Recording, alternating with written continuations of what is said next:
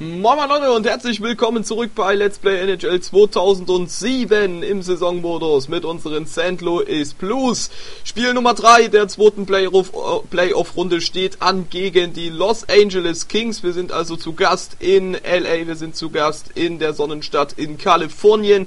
Nachdem wir zuletzt ja leider Spiel 2 zu Hause mit 5 zu 4 an der Overtime verloren haben, steht es in der Serie 1-1. Das bedeutet heute, der Sieger würde in der Serie mit 2 zu 1 in Führung gehen. Ich hoffe natürlich, dass das unsere Blues aus St. Louis sind. Einfach wird es nicht werden gegen die Kings.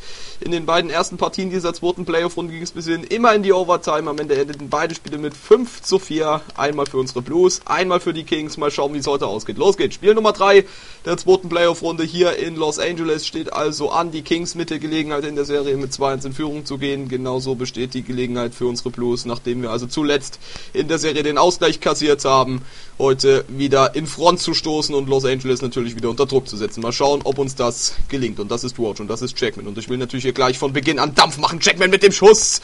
Aufgepasst, aber Nostrom dazwischen. Und die Kings befreien sich, aber Tetschak passt auf. Und wir kommen gleich wieder in die Offensive. Heute müssen wir von Beginn an Druck machen, den Gegner klar machen, um was es hier geht. Und Raid mit der nächsten guten Szene. Ja, doch ganz guter Beginn unserer Blues. Wir sofort offensiv dabei, aber noch ohne Erfolg. Das war ein schöner Check und wir bauen erneut auf. Garen. Und der nächste Angriff. Und es gibt jetzt die Strafe gegen die Kings. Und die Partie unterbrochen. Zwei Minuten Powerplay St. Louis. Die Strafe gegen Alexander Frolov. Zwei Minuten für Behinderung. Haken. Sagt der Schiedsrichter. Und unser Statement, das ist korrekt, kann man so entscheiden. Und demzufolge zwei Minuten Überzahlsituation für unsere Blues. Und natürlich die Gelegenheit hier doch recht früh in dieser Partie vielleicht die Führung zu markieren in Überzahl. Hoffen wir, dass wir die Chance auch nutzen können. Roach aus der Distanz. Da hat gar nicht so viel gefehlt. War ein schöner Schuss. Aber am Ende rauscht er am Kasten vorbei. So, kommen wir da durch. Wir behaupten den Puck gegen zwei Kings. Stark durchgesetzt. Der Pass-Raid. Schuss aber geblockt und Roach muss jetzt natürlich nach hinten arbeiten. Das ist Camilleri. Auf den müssen wir aufpassen. Und so macht man das am besten. Schöner Check und McKee mit dem Pass auf Keith Chuck. Und es geht wieder ab in die Offensive. Chuck setzt sich durch. Gut gemacht. Der Pass rüber auf Garen. Den kriegt er nicht. Und Conroy. Auf den gilt es natürlich ganz besonders aufzupassen. Der hat ja im zweiten Spiel drei Tore erzielt für die Kings. Also auf den müssen wir heute alles einsetzen, was wir defensiv haben. Orsek. Ja, aber da kommen wir nicht durch. Blake hat aufgepasst. Und Whiteman. Und wir probieren natürlich wieder den Angriff anzuschieben. Was macht denn der Whiteman? Da verliert er fast noch die Scheibe. Die letzten Sekunden unserer Powerplay-Situation laufen. Kaczarnik vom Puck getrennt. Unsanft aber wir bleiben nochmal in der Offensive und nochmal die Gelegenheit, aber der Pass viel zu ungenau. Und dann ist Los Angeles wieder vollzählig. Und wir können also die Überzahlsituation nicht nutzen. Und jetzt die Kings im Angriff. Aber werden nicht so richtig gefährlich und wir befreien uns. Soppe für LA. Am Puck. Auf Woloff. Auf Armstrong. Und der mit dem Superpass auf McCauley. Der ist durch. McCauley verzieht. Zum Glück für unsere Blues. Da fehlt am Ende ein Stückchen und das war die gute Gelegenheit für die Kings hier natürlich mit 1-0 in Führung zu gehen. Und wieder McCauley. Meine Herren, was macht denn der Brewer dort? Kann er sich durchsetzen? Jawohl, aber Davis passt auf. Die Kings kommen jetzt immer besser ins Spiel. Blake. Verlieren wir den Puck schon wieder. Das sieht jetzt gerade nicht so gut aus, was wir hier spielen. Wir hatten eigentlich ganz gut angefangen. Aber jetzt die Kings besser im Spiel. Orsek wird da gestoppt. Wir kommen einfach nicht in Fahrt. Conroy auf Warloff. Da muss der Check kommen. Und am Ende fehlt ein Stück. Garen. Und Reitman ist am Puck. Sehr gut gespielt. Und Doug Raid wird wieder gestoppt. Das gibt es nicht. Wir kommen einfach nicht durch. Wir kommen jetzt in den letzten Minuten zu überhaupt keiner Chance. Clark. Davis passt auf. Reitman. Das erste Drittel nähert sich dem Ende 0-0 der Stand der Dinge. Bisschen recht ausgeglichene Angelegenheit, auch wenn die Kings immer besser in Fahrt kommen. Garen kann sich da nicht entscheidend durchsetzen. Und wieder LA am Zug. Ah, Jackman, genau. Mal ein Ausrufezeichen gesetzt da hinten drin und Garen nochmal. Die letzten Sekunden. Garen probiert, verzieht aber. Ja, und dann ist das erste Drittel rum. 0-0 der Stand der Dinge nach den ersten 20 Minuten in dieser Partie. Noch nichts weiter passiert. Eine recht ausgeglichene Angelegenheit, würde ich mal sagen. Beide Teams probieren. Die Kings waren gegen Ende des ersten Drittels etwas besser drauf als unsere Blues. Naja, aber zwei Drittel haben wir noch vor uns und da können wir natürlich jetzt versuchen, noch mehr zu investieren. Die Schüsse 1 zu 2, also es ist wirklich noch nicht viel passiert, Freunde. Hab bis hierhin natürlich noch nichts verpasst. Dann mal auf ins zweite Drittel. Hoffen wir also, dass wir jetzt mehr zu sehen bekommen von den beiden Mannschaften. Allen voran natürlich von den Blues aus St. Louis. Hier im Staples Center zu Los Angeles. Davis auf Mackie. Wir versuchen natürlich den Angriff hier anzuschieben. Garin, der zuletzt im zweiten Spiel ein echter Chancentod war, dort richtig viele gute Chancen hat liegen lassen. Wenn er die natürlich genutzt hätte, zumindest ein paar davon, hätte das am Ende vielleicht anders ausgesehen. Dann hätten wir vielleicht auch Spiel 2 nicht verloren. Aber naja, lässt sich jetzt sowieso nicht mehr ändern. Armstrong und der Schuss und das war der Pfosten und dann ist er drin. Alexander Frolov 1 zu 0 für Los Angeles. Davis war da machtlos schon beim ersten Schuss, ja, und Frolov vollendet das, was Armstrong zunächst nicht fertig bekommt. Und es steht 1 zu 0 für die Kings aus Los Angeles. Die Führung, ja, sie hatte sich schon gegen Ende des ersten Drittels angedeutet und es geht im zweiten Drittel genauso weiter, wie wir aufgehört haben. Wir sind hinten einfach zu inkonsequent und lassen zu viel zu und die Kings nutzen das zu ihrem Vorteil aus. 1-0. Aber es ist noch nichts verloren, so sollten wir das mal sehen. Und das ist Garen. Und er vielleicht gleich mit der Chance auf den Ausgleich. Guter Schuss, aber auch ein guter Save von Clocher. Und LA kommt wieder. Play, Conroy. Und Armstrong. Behauptet sich da. Armstrong kann sich durchsetzen, meine Güte. Froloff. Und Jackman. Und jetzt muss es aber abgehen hier. Doug Raid. Und es gibt die nächste Strafe gegen LA.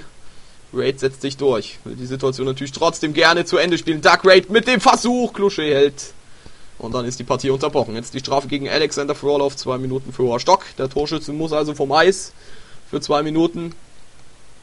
Und die Entscheidung geht in Ordnung. Da war der Schläger eindeutig zu hoch. Und somit die nächste Powerplay-Gelegenheit für unsere Blues aus St. Louis. Nun müssen wir diese endlich auch mal nutzen. Und McKee hat da die Chance. Clocher hält zweimal. Doug Raid war auch noch mitbeteiligt. Kann die Chance natürlich nicht nutzen. Wie soll es auch anders sein? So, McCauley holt sich da die Scheibe. Für die Kings tanzt unsere Defensive aus. Bleibt aber zum Glück ohne Folgen. Keith the Chuck. Na los, Bewegung. The Chuck. Setzt sich durch, The Chuck mit dem Schuss. Klusche hält. Und der nächste Anlauf. Dark Raid. Dark Raid dreht da nochmal die Runde. Der Pass findet keinen Abnehmer. Das gibt es nicht. Wir kommen einfach nicht in Fahrt. Ich weiß auch nicht. Wir können hier probieren, was wir wollen. So richtig gefährlich ist es auch nicht, was wir machen. Die Chancen, naja, sind nicht der Rede wert. Kaczarnik. So, setzt er sich da mal durch. Kaczani mit dem Pass auf Osik! Das gibt es nicht. Wieder Kluschee. Den hält er dann natürlich. Das war mal eine gute Chance. Eine der wenigen bis hierhin. Unsererseits. Und den hält er natürlich. So, und aufgepasst. Die letzten Sekunden der Powerplay-Situation laufen. Und Los Angeles ist wieder vollzählig. Wir können also unsere Überzahlsituation wieder nicht nutzen. Im Powerplay sind wir heute also auch nicht die Welt. Aber aufgepasst, die Chance für Osik. Wieder der Osik. Oh, meine Herren. Seine zweite richtig gute Chance heute und wieder bleibt die ungenutzt und das ist dann abseits. Partie damit unterbrochen. Ja. Eigentlich ist der Ausgleich doch drin. Auch wenn wir, wie gesagt, wenig nennenswerte Chancen haben, aber solche Dinger wie Osek hier gerade zweimal, die müssen dann auch ganz einfach rein. So, was macht denn Davis da? Armstrong, Armstrong. Hätte mich jetzt nicht gewundert, wenn das Ding reingegangen wäre. Haben wir aber nochmal Glück gehabt. Doug Raid mit dem Pass auf Garen. Gleich beginnen die letzten fünf Minuten des zweiten Drittels. 1-0 für LA, aber da ist er drin. Keith the Chuck, na endlich, na endlich, na endlich, der Ausgleich.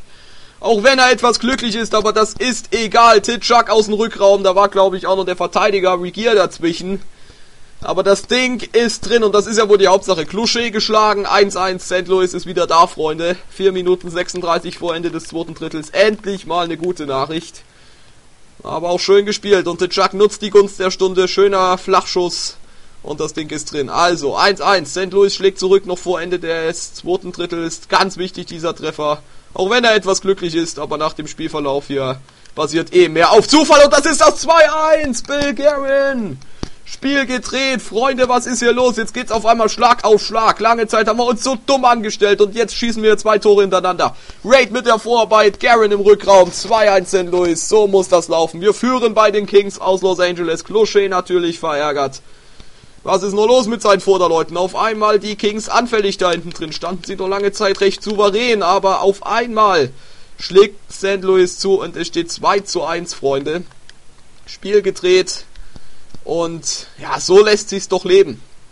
Aktuell hätten wir also Spiel 3 der zweiten Playoff-Runde gewonnen und würden in der Serie mit 2 in Führung gehen. Aber vorsichtig mit dieser Aussage. Es ist noch genug Zeit für LA, das ja auch wieder zu kippen. Es sei denn natürlich, wir legen hier fleißig nach. Clark. Schöner Check. Wichtig ist jetzt erstmal nur, dass wir die Führung in die Pause bringen. Plumek. Und dann war's das. Das zweite Drittel ist rum. Also, ein bisschen alle Tore im zweiten Spielabschnitt gefallen. Es steht 2 zu 1 für die St. Louis Blues. Wir führen bei den LA Kings. Nachdem wir zurücklagen, nachdem die Kings ja früh im zweiten Drittel in Führung gegangen waren, konnten wir also durch zwei relativ späte Treffer im Mitteldrittel die Partie drehen und führen nun mit 2 zu 1 in Los Angeles in Spiel 3. Naja, aber ein Drittel haben wir noch vor uns. Da kann noch viel passieren. Deswegen abwarten und die Füße stillhalten. So, na dann wollen wir mal auf ins letzte Drittel. Hoff was. Nicht, dass es heute schon wieder in die Overtime geht, wie in den ersten beiden Spielen. Aber aktuell wäre das ja nicht der Fall. Nun müssen wir dieses Ergebnis natürlich über die Zeit retten. Bestenfalls natürlich noch ausbauen. Ich denke, wenn wir noch ein, zwei Tore machen und hinten natürlich keins mehr kassieren, dann dürfte das hier über die Runden zu bringen sein. So, und das ist Bill Guerin, der Torschütze zum 2-1 mit dem Pass auf Raid. Aber der kann die Chance zum 3-1 leider nicht nutzen. Das wäre natürlich der optimale Start ins dritte Drittel gewesen. Gleich noch das dritte Tor hinterher. Armstrong auf Conroy. Der Dreifach-Torschütze trifft schon wieder. Zuletzt im zweiten Spiel schon drei Tore gemacht und heute trifft er wieder der Craig Conroy. Weil wir wieder nicht energisch genug draufgehen, weil dieser Track total amateurhaft ist und dann schießt er einfach und das Ding ist natürlich drin. 2-2, Los Angeles schlägt zurück, das Spiel wieder offen, die Gastgeber sind wieder dran. Und das regt mich einfach auf sowas wenn wir dort unmittelbar vom Gegner stehen und eben nicht in der Lage sind, den einfach mal vom Puck zu trennen und dann schießt er und dann ist das Ding natürlich drin. Das sind dann halt auch so Sachen, der braucht einmal schießen und das Ding ist drin. Das sind so Dinger, die gelingen uns eben nicht. Naja, 2-2, den müssen wir uns wohl stellen. LA ist wieder dran.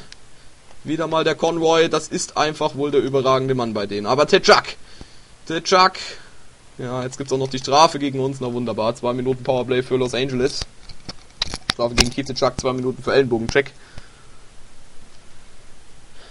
Ja, da fährt er den Ellenbogen aus. Entscheidung schon richtig. Also LA jetzt mit der Chance in Überzahl hier wieder in Führung zu gehen. Oh Mann, wäre das bitter. Aber Brewer erstmal. Vielleicht können wir auch in Unterzahl mal zuschlagen. Meyers mit der Chance. Aber Clocher ohne Probleme. Und da kommen sie wieder, die Gastgeber. Aber Costapelis im Abseits. Und da haben wir den Ausgleichstreffer der Kings aus Los Angeles durch Conroy.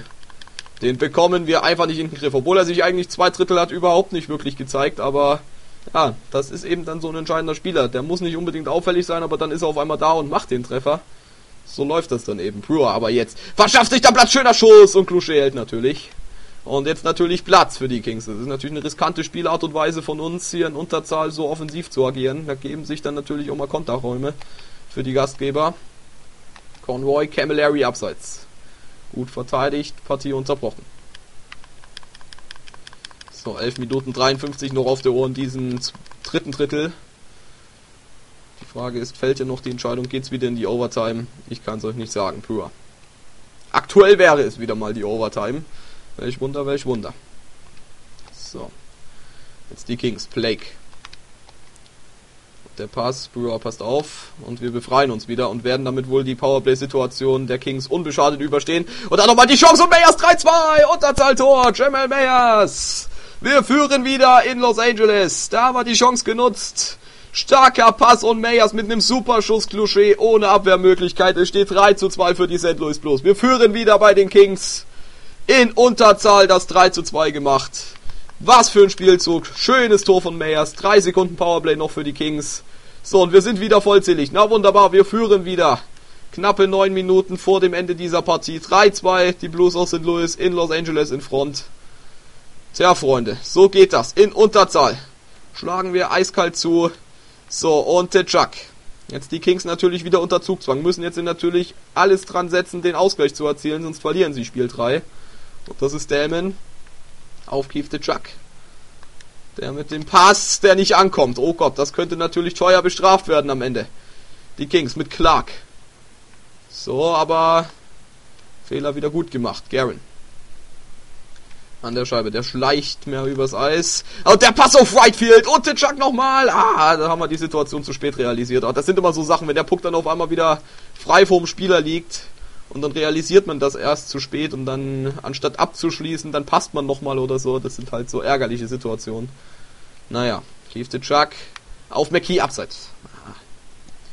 Ärgerlich. So, 3 Minuten 31 noch auf der Uhr im dritten Drittel. Und dann ist Spiel 3 vorbei. Aktuell zugunsten der St. Louis Blues. Wir führen 3 zu 2. Aber noch ist das Spiel nicht entschieden. Garen mit der Chance aus Vierte. Kann er nicht nutzen, bleibt aber an der Scheibe. Bill Garen auf Jackman. Mackie. Mackie in die Mitte auf den Chuck. Und der scheitert an Clocher. Und jetzt Convoy. Ein Treffer hat er schon. Bitte nicht schon wieder der Convoy. Wunderbar der Einsatz. Und wir befreien uns. Dark Raid auf Garen. Und die letzte Minute des Spiels hat begonnen. Wir führen 3 zu 2. Diese Führung muss doch über die Runden zu bringen sein. Nostrom natürlich. Die Kings werden jetzt nochmal alles nach vorne werfen. Armstrong. Nee, Freundchen, heute nicht. Reitman. Setz dich da durch. Reitman mit dem Pass auf Drake. Reitman. Clocher hält die theoretischen oder besser gesagt die realistischen Chancen auf den Ausgleich der Kings noch fest. McKee. Aber solange wir natürlich in der Offensive sind, kann uns nichts passieren. So müssen wir weitermachen. Kaczanic mit dem Pass auf Trey. Kaczanic wieder. Reitman abseits. Partie unterbrochen.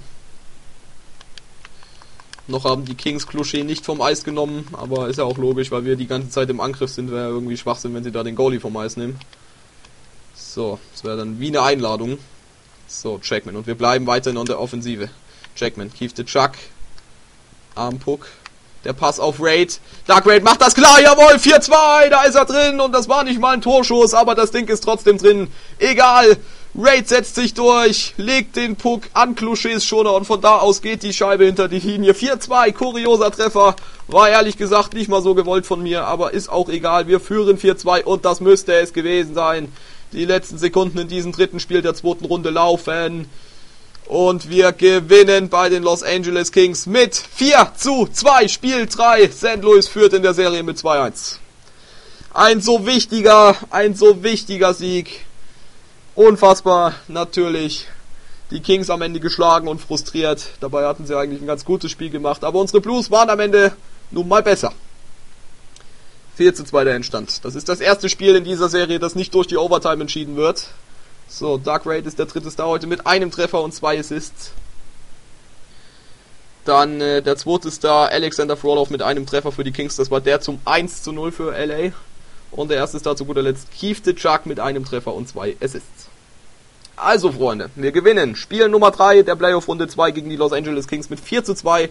Ein, denke ich, verdienter Sieg. Es war ein harter Kampf wieder mal gegen die Kings. Aber letztlich waren wir, denke ich, die, einfach die bessere Mannschaft, haben unsere Chancen effektiver genutzt und deswegen gewinnen wir hier letztlich nicht ganz unverdient gegen die Kings. Führen also nun in der Serie mit 2 zu 1 Siegen und haben also die Möglichkeit im vierten Spiel mit einem Sieg den Vorsprung auf 3 zu 1 Siege auszubauen. Hoffen wir also, dass wir die Gelegenheit dann demnächst nutzen können. Ich bedanke mich dann wie immer für eure Aufmerksamkeit, hoffe ihr hattet euren Spaß und würde sagen, wir sehen uns beim nächsten Mal wieder. Also bis dahin.